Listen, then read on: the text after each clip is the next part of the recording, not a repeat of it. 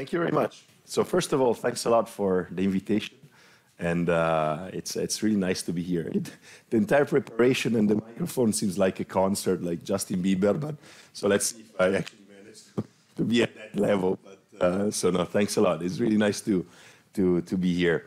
Uh, so let me just say, as, uh, as I was introduced, and actually I think it's the first time I've been introduced formally by, by somebody, I'll be here for the entire week. So stop by the office. It's 210. Any topic, anything you want to discuss, even uh, soccer, politics, uh, Meloni, whatever, uh, I'm happy to, to discuss and uh, happy to interact uh, and get to know you. So this is a joint work with Riccardo Zago, who's currently at the Bank of France. Uh, and so the usual disclaimer applies, especially given that we are talking about supply curve, monetary policy. So these are definitely our own opinion and not the opinion of, of the bank.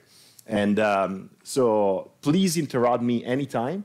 So we are currently revising this paper for a, a revision. So anything is super welcome, and especially if you buy our new evidences and stuff. So it's really the type of uh, moment where you should say, Daniele, this doesn't fly at all. Okay, so please uh, interrupt me anytime. So I've been told that it's a kind of a general seminar, not a macro. So I'll try to be as general as possible, but then we can look at details of each thing. Okay, so interrupt me anytime during the presentation, doesn't need to be at the end or whatever. So I think the title is kind of explaining you already what we do. So the title is Job Polarization, Labor Market Fluidity, and the Flattening of the Phillips Curve. So the entire idea is extremely simple. We are going to connect something that happened on the labor market, and in particular, something that we will label as job polarization, which is something that I absolutely didn't know anything about before this project, is the idea that the, the types of job are polarizing. So there's an entire sector which are routine type of tasks that are going to be destroyed, and I'll, I'll talk about this. But anyway, there's a big labor market structural reform and how this actually affects something that in macro we teach at macro one, which is the supply curve. And in particular, we're going to be looking at the representation of the supply curve, which is the Phillips curve. Okay, and again, this, we will talk about the Phillips curve and what is this. And we're going to be connecting these two parts, labor market and something that is interesting for monetary economics, with something that the change in the labor market does, which is changing the fluidity of the labor market. And just as a preview, what do we mean by fluidity is something that basically tells how much you adjust on the extensive or intensive margin when you work. What does that mean? It basically means how easy is to fire and hire a person, okay? This is the fluidity. So a fluid labor market is one where I adjust, basically I fire the guy easier than in a, in a setup, like for example, I would uh, use Italy as an example, that is kind of rigid. It's super complicated to fire a person, therefore it's really complicated also to hire because you're stuck with that person for a while. Okay, but after this long introduction on the title, let me try to motivate the paper by showing two figures, which are kind of well known. But again, let me uh, get to the point. So the first uh, figure is the slope of the Phillips curve. Now, we all know what this, the Phillips curve is. It's a negative relationship between prices and the real economy, where here the real economy is measured by unemployment, okay?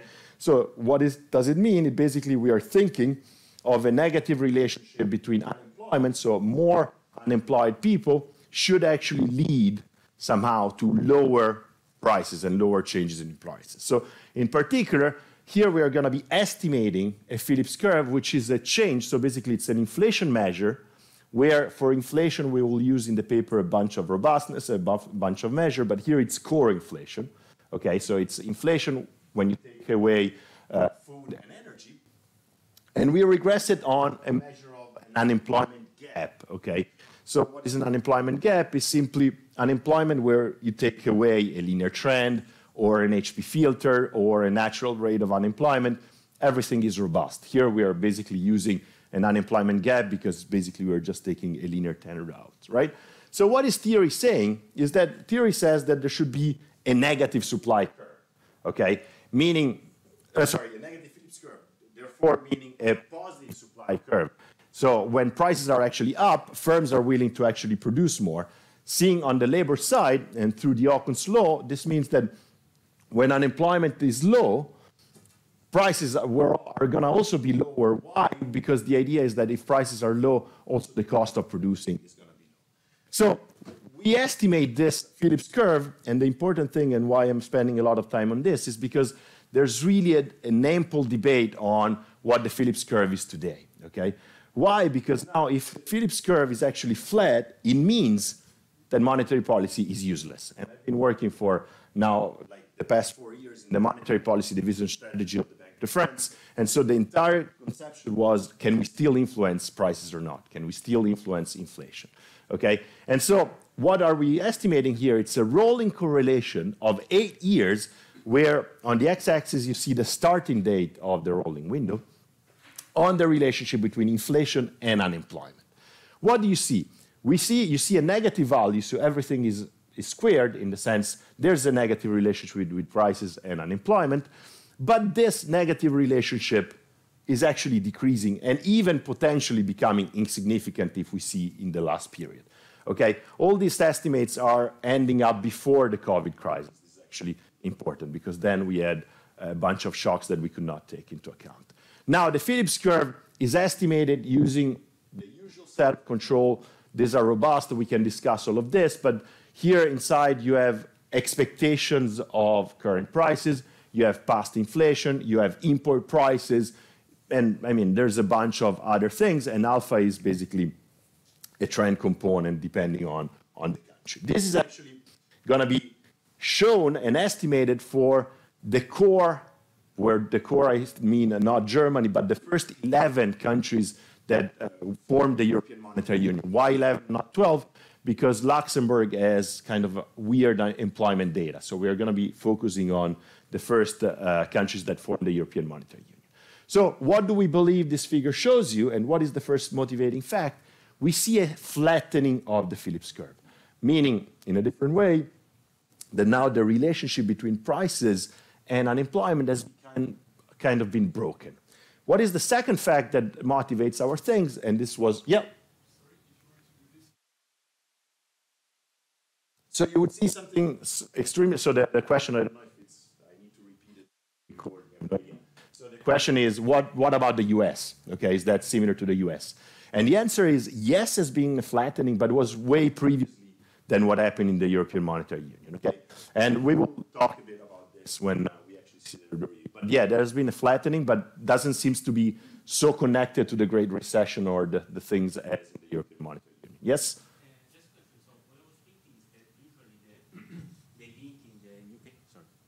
the link uh, between uh, uh, inflation and the unemployment goes through uh, wage inflation, right? So what I was wondering is whether these kind of things you observe also for wage inflation, and there is also today a debate how wage inflation maps into price inflation. This, that might have changed as well in the Absolutely. last period. So uh, the question is so good that it's anticipated by like 15 slides. So the, um, the answer is yes. We've been seeing a flattening of the wage Phillips curve, but we don't have the evidence on there because it's a bit puzzling on how we measure wages and stuff.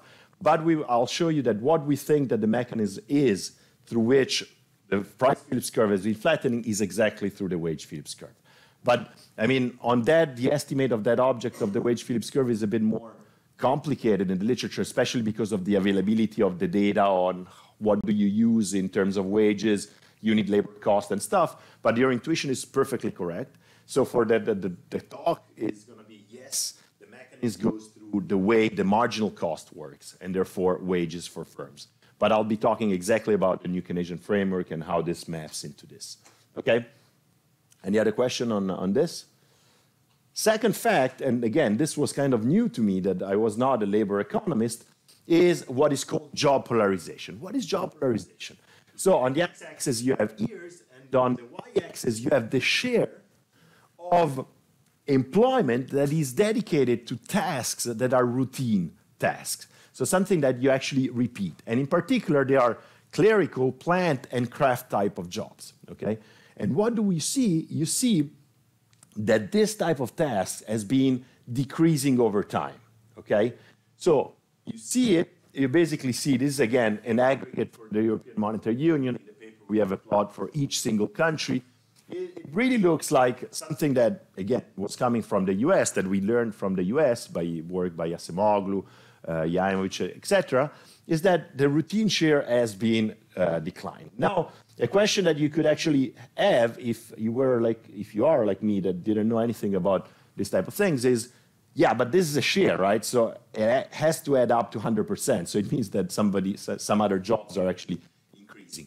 And so if, when you actually look at the other side, where job polarization literature usually divides the labor types and the labor tasks in routine, abstract, and manual jobs, we see that what actually was destroyed by routine was actually captured by abstract employment, okay? Because when then you start looking at manual employment share, it seems that basically things are um, quite stable. As you see, these are non-seasonally adjusted uh, type of series. Okay? So the fact that, the second fact that we use to motivate our work is it seems that there's been a quite dramatic change in the way the labor market functions. And in particular, there has been a destruction of routine type of tasks. Now, if you go to the literature and you actually look at Acemoglu paper and stuff, they say that this is actually due to multiple ideas, for example, technology, technology that are actually taking away the type of routine, routine tasks and, and this type of things. Okay? So what is really this paper about is putting these two things together. Okay? These things that, I mean, get me the, the seemingly unrelated events, and we actually try to understand if these two things are indeed not unrelated. Okay? So what is this paper doing in a nutshell? It's basically testing if this big labor market reform had a role in the flattening of the Phillips curve. And in particular, so the composition of the job ladder and the changes in the composition of the job ladder as um, an effect on the slope of the Phillips curve. And the second is, if so, why? So we try to understand through the lenses of a new Keynesian model, the simplest possible model we could think of, is why is that the case? Okay? And um, to give you a preview of the results, the answer is not surprising yes. So it is, there's a really important link between the labor market structure, and in particular what we experience in terms of job polarization, and the Phillips curve, up to a point that we can explain to one up to a fourth of the flattening of the Phillips curve due to labor market reforms. Uh, so the labor market uh, changes. And second one is that the channel through which this goes is the fluidity of the labor market. Okay, the channel that we are investigating and we highlight in this change in the structure of the labor market is the fact that routine jobs were more rigid, so it was way more complicated to fire and hire in person than the abstract types. Okay and I'll try to convince you in this. Yeah. One conclusion might be then that uh, labor markets, the evolution of the labor market makes uh, monetary policy increasingly useless. Exactly. This, this could be a, a point uh, that we are not going to sell this paper at the Bank of France in that way. But, uh, but clearly, what is that this paper is pointing out, and I think that's actually an interesting, is they careful because what happens in the labor market, which is out of the control of monetary policy, is clearly affecting how monetary policy is transmitted to the economy. Okay? So when we actually start looking at this type of reforms and when we think of also the fiscal impact of structural reform, we need to look at also the ability of monetary policy to influence this. But the short answer to uh, your question is yes, in a way. So some types of labor market reforms are actually indeed flattening the supply curve and therefore making monetary policy less effective, right? Because the entire idea that is hinting in the, in the question is think of it as a super flat supply curve. Now you can start moving aggregate demand as much as you want, but prices do not change at all. And therefore, if prices do not change at all, monetary policy, given that they have one objective, which is price stability, are basically useless, okay? So in a way, what is actually saying this, and again, here it's a parenthesis that is not really in the paper, but it's something that is actually effective today, right? So if COVID, and if the disruption of supply chain, and if the fact that basically in the past two years, manufacturing job restarted, okay, quite more than services because we could not travel and stuff, this is changing the way the labor market works, and therefore this is probably changing also the slope of the Phillips curve itself. So what is this paper saying is that we should actually monitor way more closely what happens to the labor market in order to understand how monetary policy can be affecting in a time or not. But then we will see all the empirics in showing and convincing you of this. Yes, um, a fairly naive question. The fact that the share of routine jobs uh, decreases, this has to be a long, long-term trend, right? So it has to, it has to have been going on for more than 20 years. Uh, maybe. So do we see such a long, long, long-term trend on the flattening of the Phillips curve? Or? So again, it's a super good question because he's basically hinting in everything that we're going to be seeing from now on. So the point is, okay, is this has been going through a long time? And the answer is yes and no. So there's a trend. And here we clearly, and one of the big point of the paper is we're going to be estimating a trend, and the trend is actually common across all European countries, and therefore we cannot use that for identification. We can use, and we'll talk about this. But it's not been going long for long. So it's really coming at the beginning, so end of the 90s, okay, from the 2000, at least in Europe, while in the US was actually earlier. Now, have, have we been seeing a massive uh, change in the, in the Phillips curve since when we saw the share of routine? I would claim that yes, but it's clearly not the only driver, okay?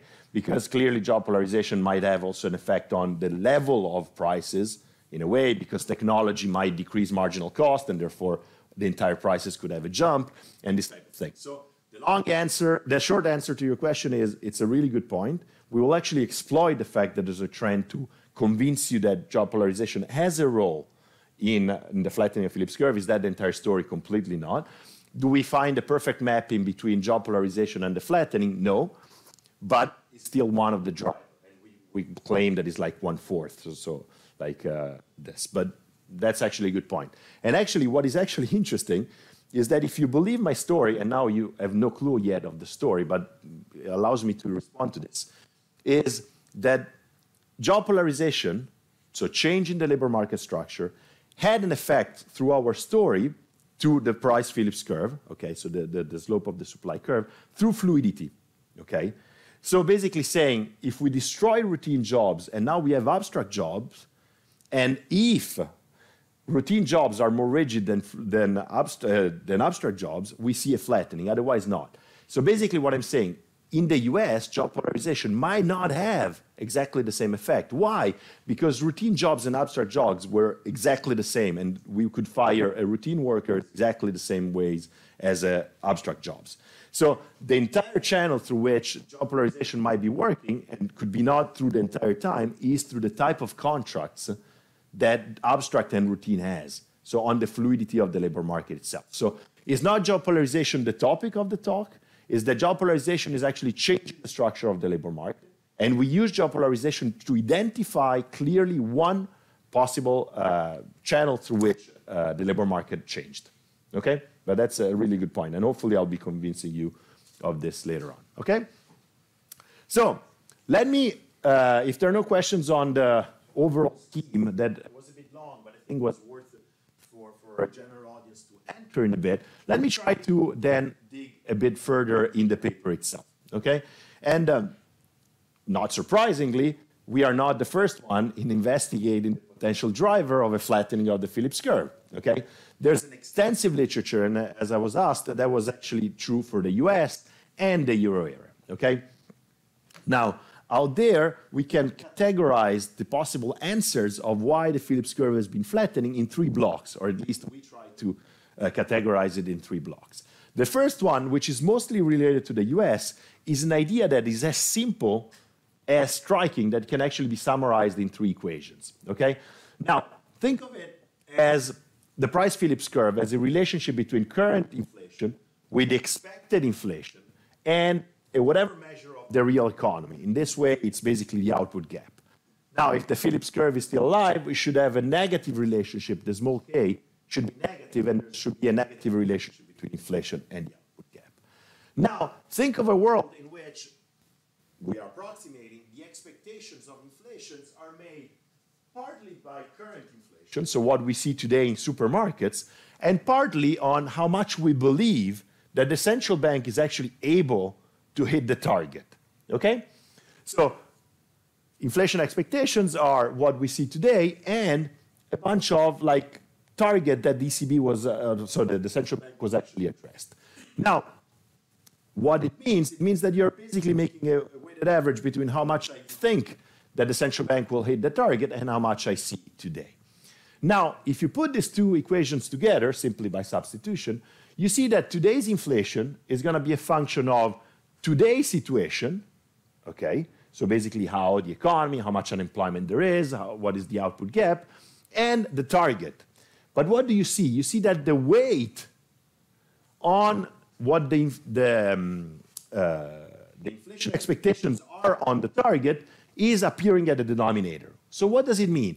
It means that if I do not believe that the central bank is going to be able to hit the target, and therefore I sign to my expected inflation zero, so alpha equal to zero, to what the ECB is actually doing or the central bank is actually doing, and I only look at current inflation, this object goes to infinity.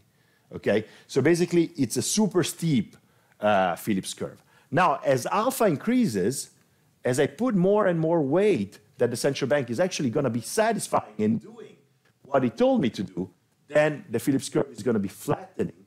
And so current economic conditions are affecting less prices. Okay? So what is this? So basically saying that the entire literature looking at the US is mostly saying if monetary policy became good in anchoring expectations, so basically the monetary policy was actually able to hit the target and therefore change the inflation expectation, we should see a flattening of the price Phillips curve. Now, why is this important, for example, today? It's for what is happening in the UK, right? If you look at the last week, one on Twitter was everywhere, but one of the big debate was the Bank of England seems to be having responded to what the government is, therefore basically risking that agents do not assign to what the central bank says its ability to hit the target a lot of credibility. Okay, so one of the big um, explanation of why the Phillips curve is flattening is that central banks are more. Now, is that the only end, like only explanation? No, there's a huge literature on structural changes, demographic dynamics, technological change, and there's a literature where we are contributing that is on labor market dynamics. For example, one other story is on bargaining power of firms and bargaining powers of firms and workers. Okay. Now, this is far from being extensive. I know that uh, quite a lot of you worked on similar topics. Don't take, if you're not on the list, uh, don't, don't get personal. It's just a, like a bunch of, of citations in the paper. You find the extended list. So we try to contribute to this part in saying there seems to be something that is related to the labor market dynamics that has been so far kind of overlooked That that is actually important. Any question? Okay, so let me move to try to convince you that there's actually a relationship and there's a causal relationship between um, the change in the labor market and uh, inflation dynamics. Okay?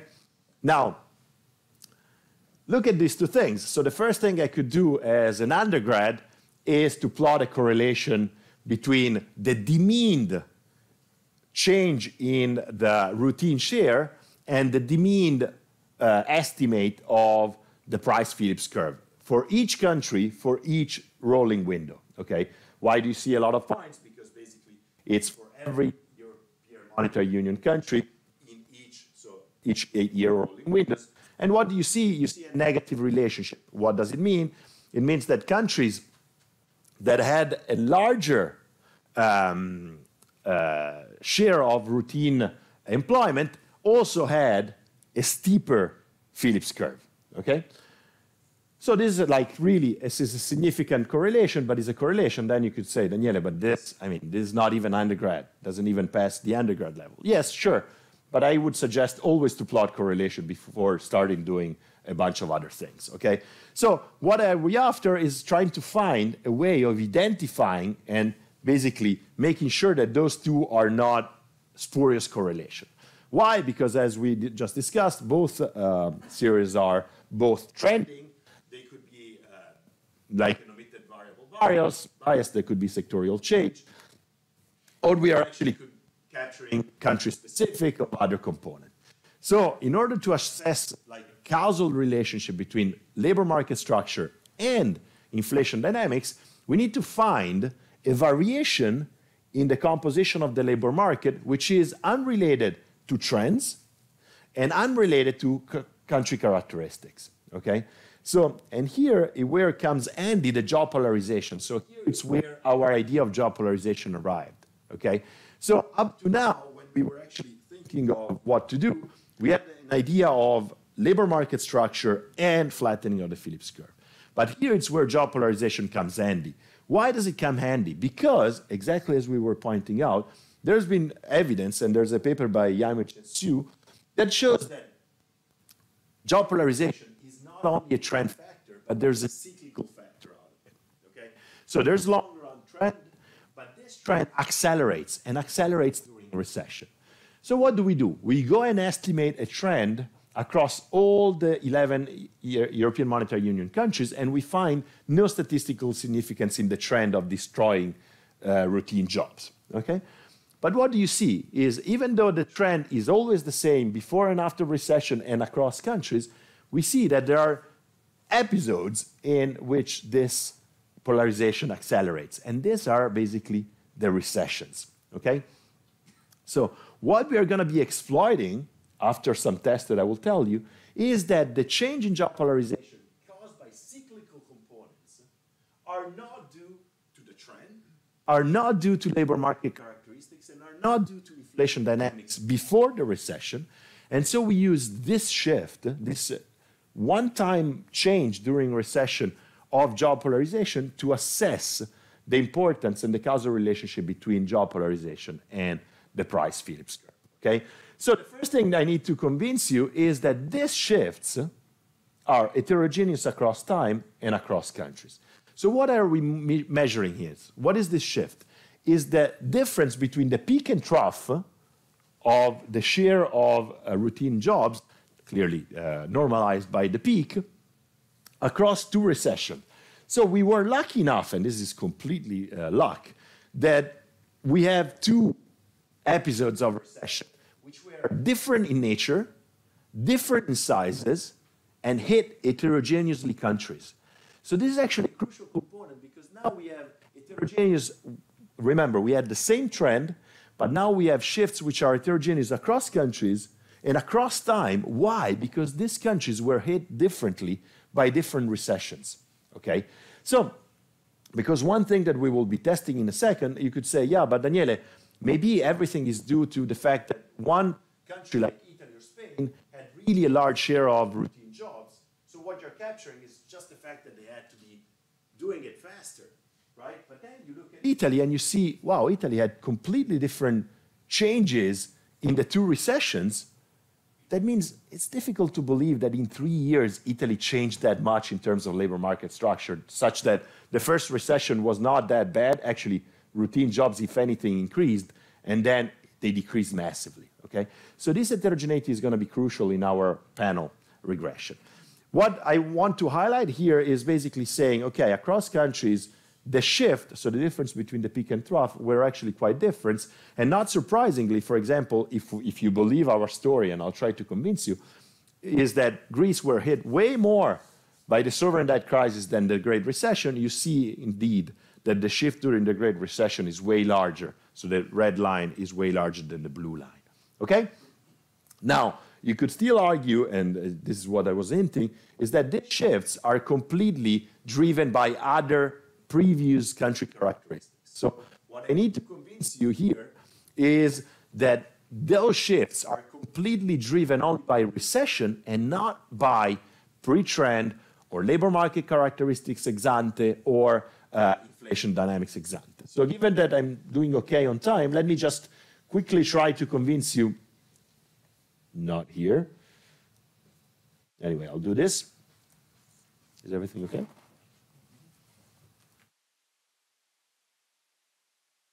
So that when I try to do again my bad correlation between a measure of the shift, where I, I put all the time on the axis, and other bunch of possible explanation. And here, for example, I put routine share before the recession or the, the trend or I put, for example, sorry, the share of manufacturing, so basically the, the share of manufacturing component, or the inflation, I do not find any statistical correlation between these two. So it really seems that the characteristics pre-recession were not the driver of the changes and heterogeneity across those peaks. What indeed is a driver and clearly statistically significant is the size and the length of the recession. Okay? So it really seems that that shift is big or small depending on how much that country was hit by that particular recession. Okay? And now maybe you can claim that the Great Recession impacted different countries because their labor market structure was different, and this I could buy it. But it's difficult to believe me that Greece was hit harder than Germany by the sovereign debt crisis because the labor market was different. Okay, literally, the sovereign debt crisis was a shock that hit their cost of borrowing because of their credibility. It has nothing to do with the size, for example, of the labor market or their routine share.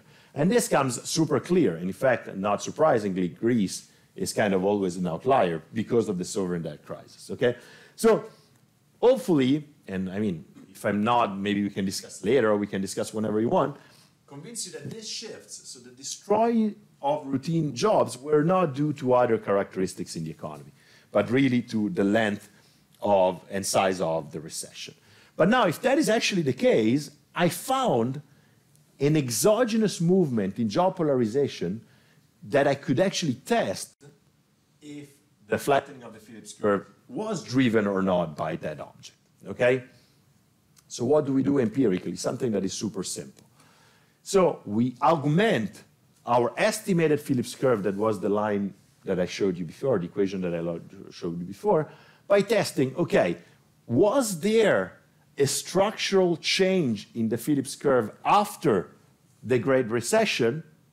And if so, how much was actually due to the job polarization? So the way you should see this equation, forget about reading and follow me, is that the first one we are estimating the Phillips curve.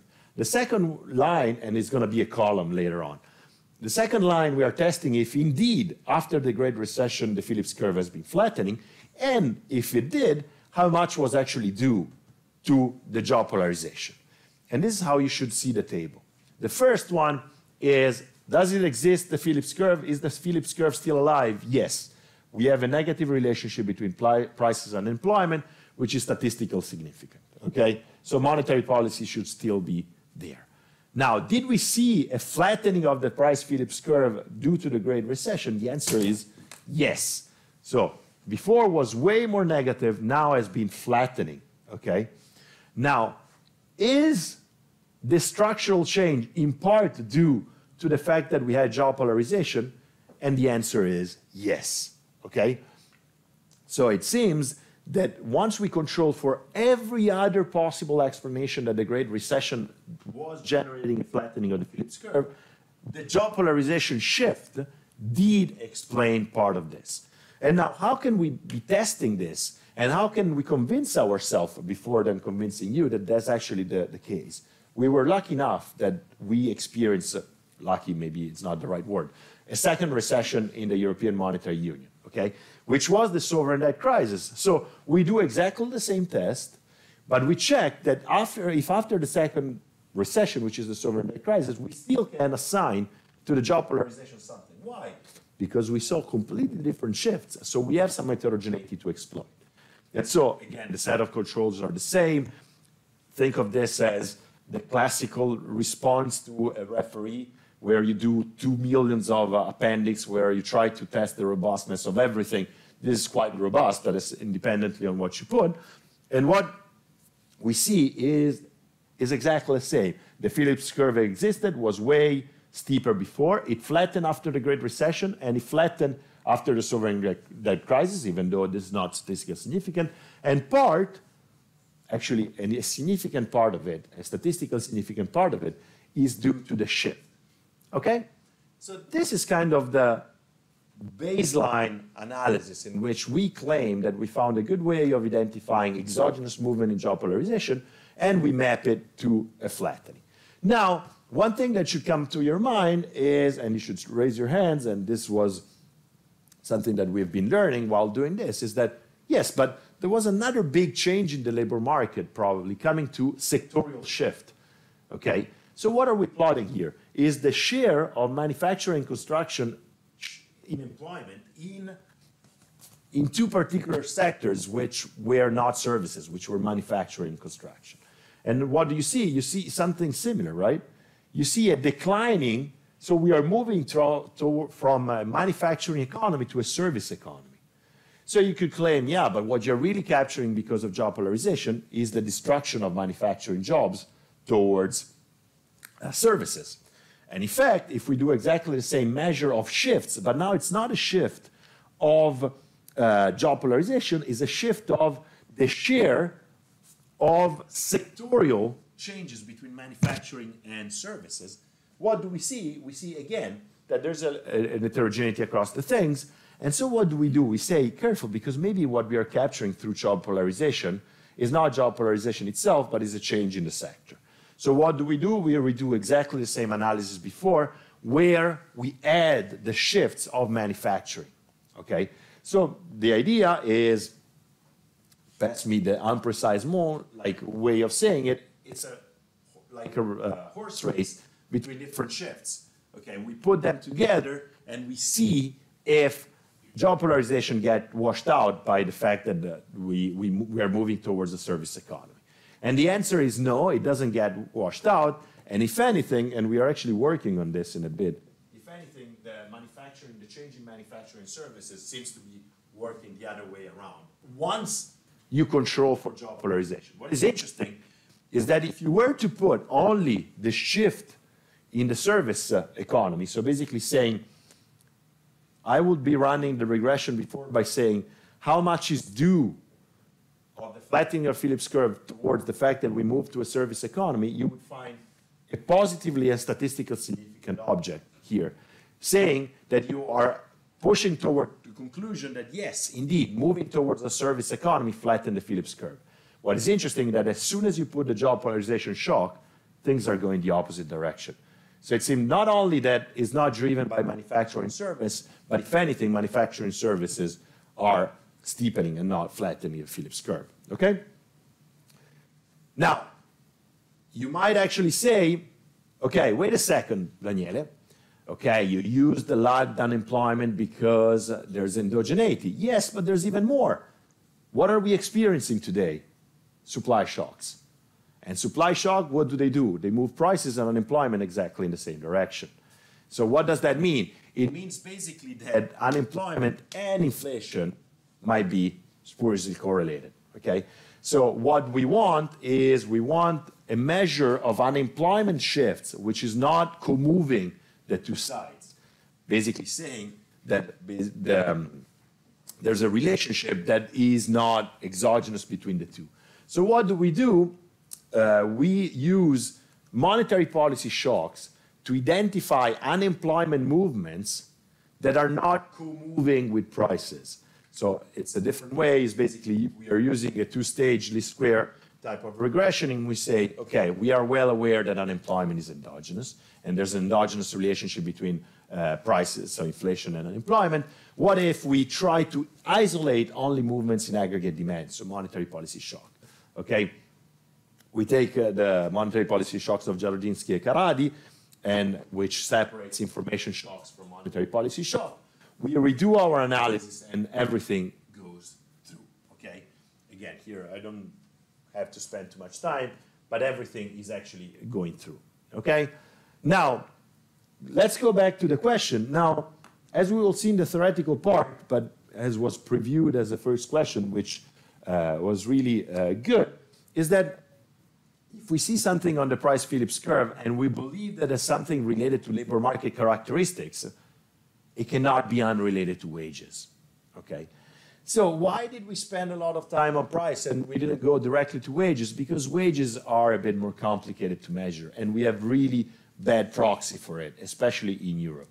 Okay, so what do we do? We do exactly the same thing. We are now the only difference is if you imagine the equation that on the left-hand side we have the year-on-year change in the unit labor cost index. Okay, is that a good proxy for wage? The answer is so and so. Is that the best that we could do across all countries?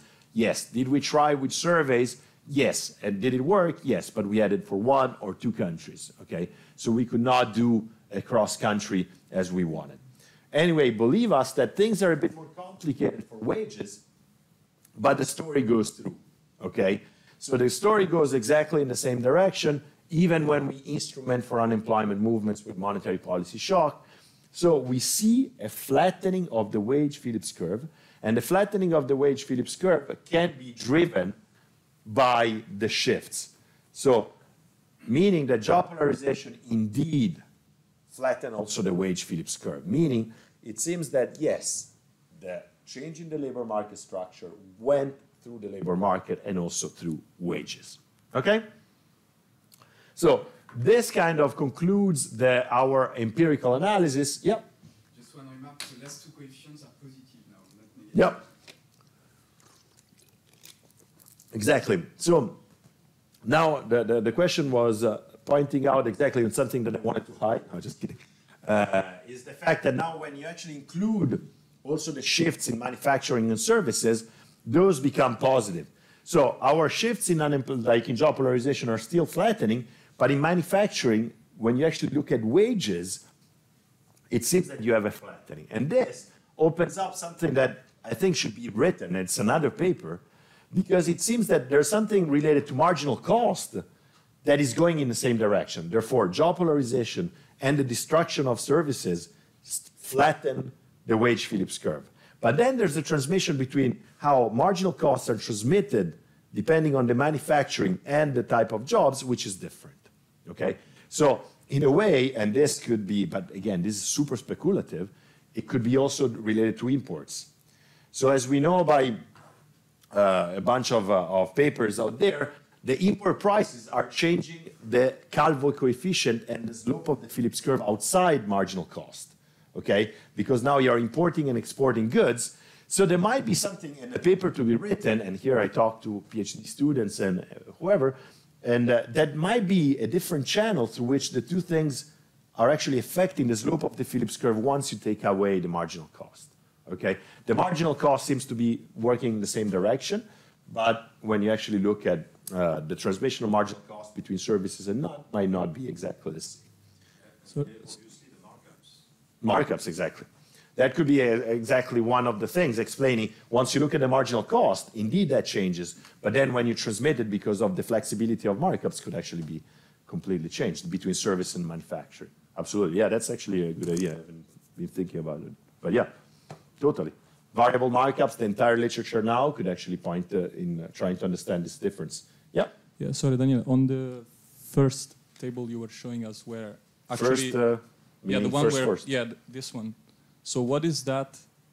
So that basically means if you follow your story that in this, if you see just this evidence, that the is not the, the manufacturing sector. Ah, no, is- okay. Uh, yeah. Sorry. Yeah, No, that- yeah this that one. Yeah, yeah, you're right. Right. It's not more fluid, right? So the story about the the job polarization was about fluidity.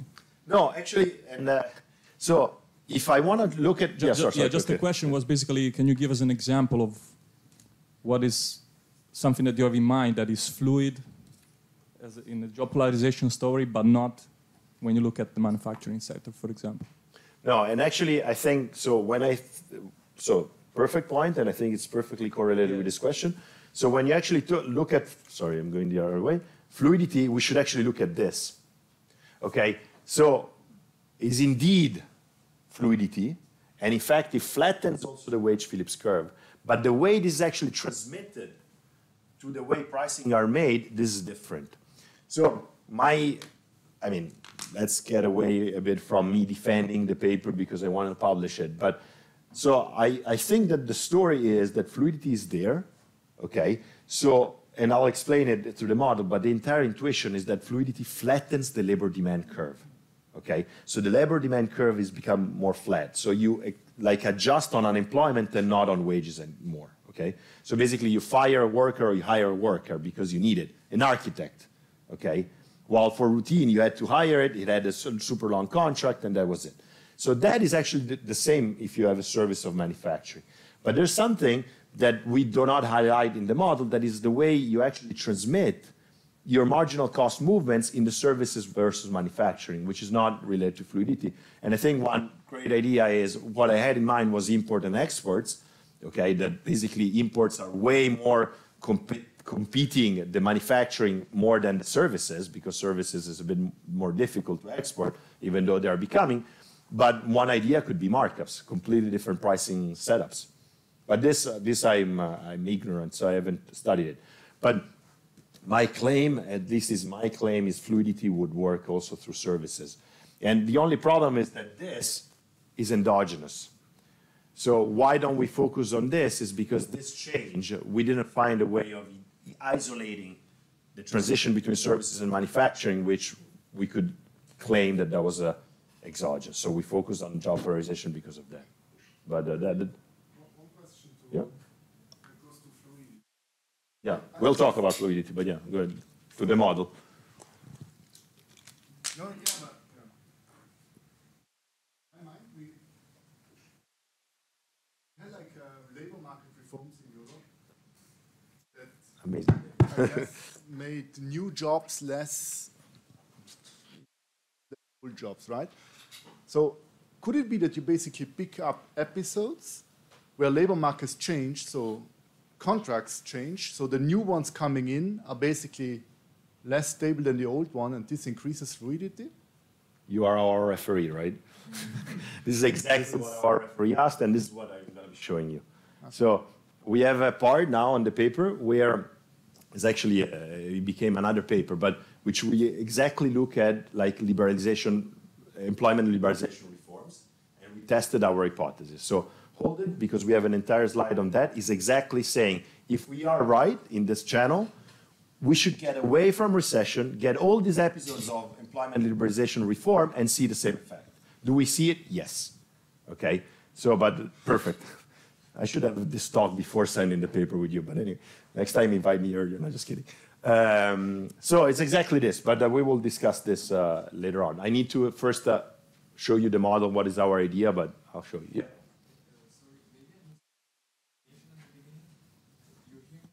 Yeah, yeah, but I don't know if the video hears you. I don't. Yeah, sorry. Uh, you, so okay.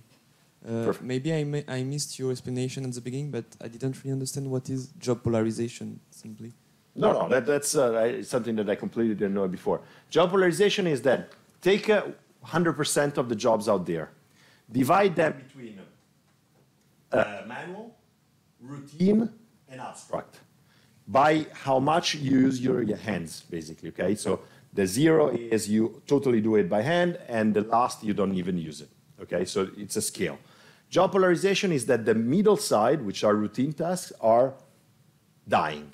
And so the, the two shares on the right and left hand side are increasing. So this is why it's called polarization, okay?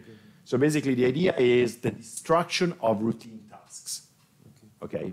Substituted by machinery and stuff. And this is the way it's called in the literature. The fact that now routine tasks are disappearing. So usually we divide the society in three categories. I mean, yeah, they divide. So yeah, exactly. That's the idea. Thank you. Yeah, you're welcome. Thanks a lot for the clarifying question. Okay? Any other question on the empirics? Okay, so now we'll be quite fast. So the idea, or at least my idea at the time, was let's try to find a possible explanation in a super simple setup. Okay? Why? Because I wanted results to be analytical.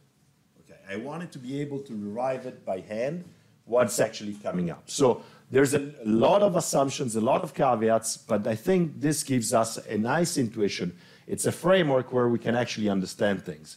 Why? Because models that are more complicated, that can only be solved numerically, is really complicated to measure something that is a derivative. Okay? Why? Because if you think about it, here we are actually trying to understand how changes in labor market might affect the transmission of the Phillips curve. So in reality, what we want to do is sort of understanding a, a derivative, but on a numerical model, this is actually quite complicated. Why? Because of the Lucas critique, and why? Because basically the entire model structure changes. Okay? So what do we, we picked? We picked the standard New model with two things that we needed. Unemployment, why? Because we have a Phillips curve, okay? and a way of matching workers and employee, okay, by saying we have some bargaining power on some side, some under, so basically we do search and matching type of models, okay? It ends up that this model was already done in 2010 by Blanchard and Galí, so we took basically their model, which is the new Keynesian that you teach to a first-year grad student in monetary economics, where you put unemployment and uh, search and matching, okay? So these are the two things. Why is that important? Because you see that only with these two things, but still having an analytical framework, you find that labor market structure matter. Why? Because they change. So think of, if you have in mind the new Keynesian model, is simply inflation on one side, you have Calvo parameter, like how much you can adjust uh, prices, etc., times the marginal cost. Okay, so usually what is the slope of the Phillips curve is called basically the, the component that we call Calvo parameter, which is basically the discount factor and Calvo parameter. Now, what this model does is that says, wait a second, when you estimate the Phillips curve, there's also like a relationship between marginal cost and unemployment. There's also a slope here. So when you actually aggregate the two, you so basically in the economy matters also the labor market characteristics. And this is what you see analytically in this model. So labor market characteristics jump in the picture as long as you have search and matching and unemployment. Why? Because they influence the way marginal cost adjust to basically slack in the economy. And in this case, slack is measured by unemployment. What is the parameter that in this type of model go governs this uh, transmission, this elasticity of marginal cost to unemployment, is labor market tightness and labor market fluidity. Okay? The idea is basically saying, our workers, when they actually lose job and when, the, um, when their boss is going to hire them, are they adjusting more wages or basically the stock of employment? Okay, so it's more on the extensive or intensive margin that we are looking at. Now, I'm not going to be present the entire model. I've been saying again, this is not a super uh, macro specialist, and I would get like to get feedbacks from all over, so it's a really standard model. I have separable utility in, uh, in consumption and hours. I have log utility so that I can forget complicated component that I need to bring out so income and substitution effect cancel out. What is the most important figure or equation that you should remember of this model is this.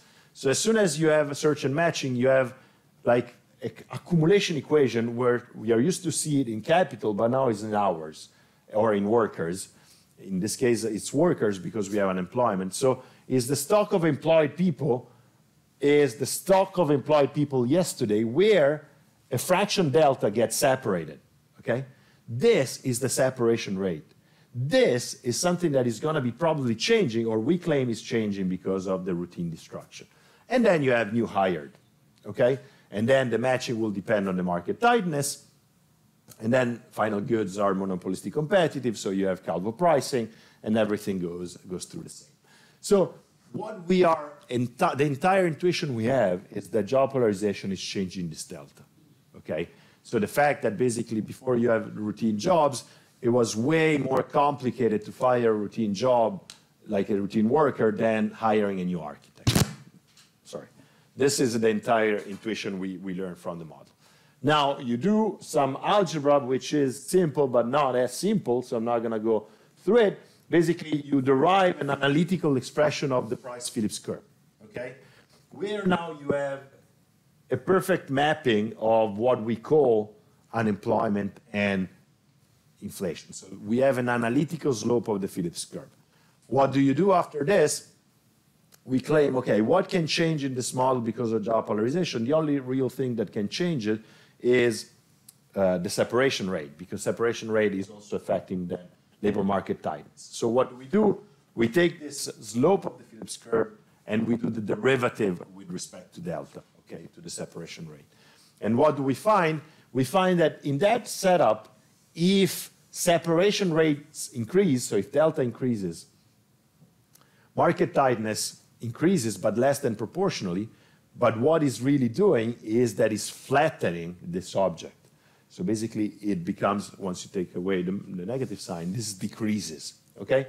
So we move to a world where the fluidity affects the transmission of the economic slack to prices.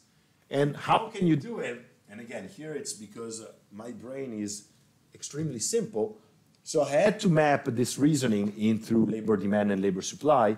And you can show that this effect can be basically simply, I didn't put the graph, but anyway, sorry. Uh, you can simply map it into a flattening of the labor demand schedule. So if you think of a labor demand where you put wages on the y-axis and uh, employment on the x-axis, you have a labor demand, basically you want to hire more when uh, workers are cheap, it had become flatter. What does it mean? It means that now adjustment in the real economy are need a way smaller adjustment in wages. So it needs a small adjustment in marginal cost. But now if you think about it, how the New Keynesian model is set up, so the New Keynesian is the prices related to marginal cost, that doesn't change, but marginal cost relates to unemployment.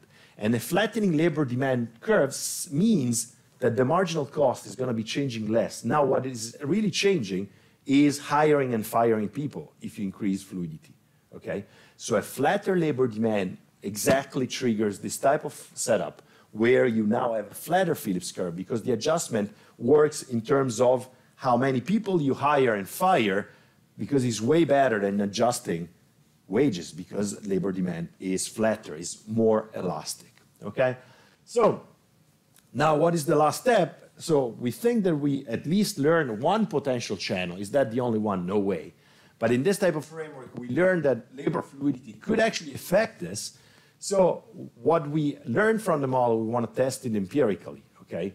And so now we try to basically understand if the shift from routine jobs to non-routine jobs indeed has the effect that we think of. So basically, if now moving from, from routine to non-routine jobs increases overall fluidity of the labor market, okay? So here we start digging into survey data and we try to compare routine, abstract, and manual jobs. While manual is in parentheses because we saw that the manual share is kind of constant, okay?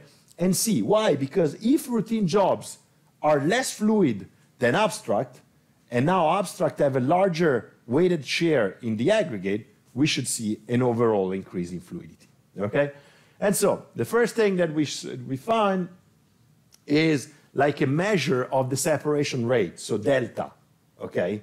We try to measure it properly in the paper. There's all the technical details on how we do it. We use survey data. We basically we follow surveys in firms that actually are asking how much you fire and hire people. We track those firms, et cetera, et cetera, and then we compare it across types of jobs and uh, because we have both sides. And what basically comes up is that routine share is the one that is more rigid. Okay, so that has a lower delta. And to be honest, this is kind of my my prior before, right?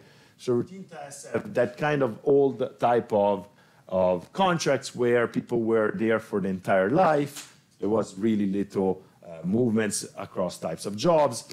While abstract is a bit higher and manual is the highest.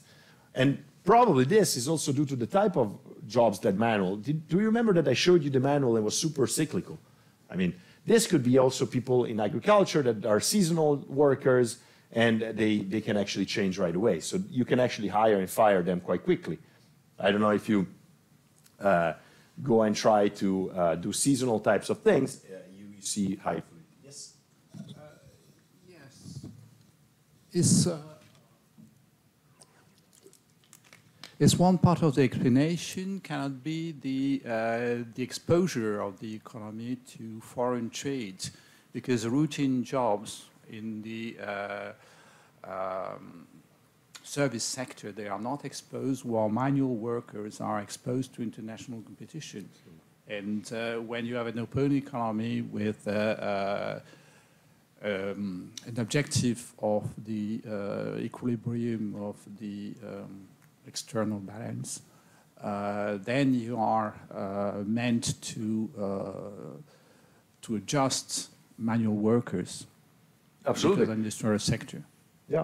So basically, if I understood your point, but get me right. So you're saying more you're exposed to international competition, more you might need to adjust, right? And therefore, this is exactly one of the potential points. So we are not studying what are the drivers of this, but is it exactly true. As long as maybe this and has been shifted towards economy which are more sensible to price competition, markups and stuff, maybe you need types of uh, contracts too that are actually more uh, more flexible in terms of one of the two margins and not of on the price ones because otherwise you lose markups. And in fact, I mean, this is exactly what we tested after, right? So one of the things that at least, uh, in my opinion, or at least in my history, was really different from before when I actually entered the, the labor market was that all my friends after university had temporary contracts, while all my parents always had permanent contracts right away. And so also the type of contracts that are actually done makes you a sense of how easy it is to fire hire a person, right? Because if it's a temporary contract, you just not renew it and they're home, and it's way more fluid. And so if you look at it up, I mean, and again, we, we measure through surveys and, and stuff, you see that abstract jobs have way more temporary contracts than routine and manual. And this could be one of the adjustment, like of the uh, adjustment that I'm talking about, so that it's easier to not renew a temporary contract. While if you're stuck with a permanent contract, it's difficult that you adjust on this, but you actually adjust on wages. Okay.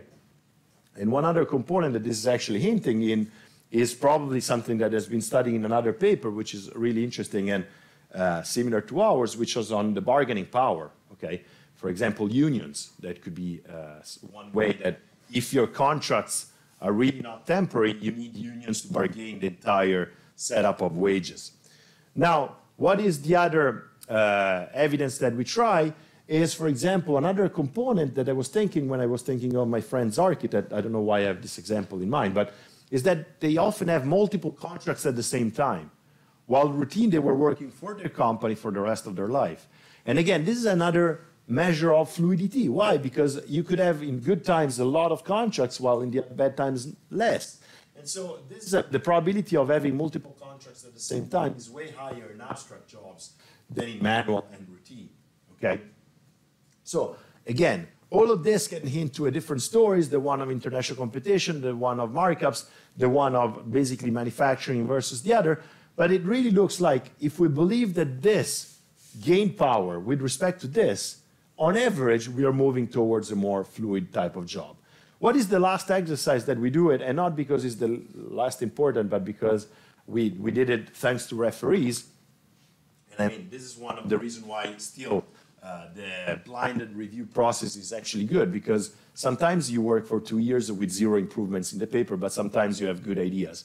And uh, what Andreas was actually saying is exactly the idea that we said. So if our claim is labor market composition, labor market structure matters for the price Phillips curve, and the channel is labor market fluidity, that doesn't have to go through job polarization shock. That could go through APLF reforms. So what are these? Are employment protection liberalization reforms.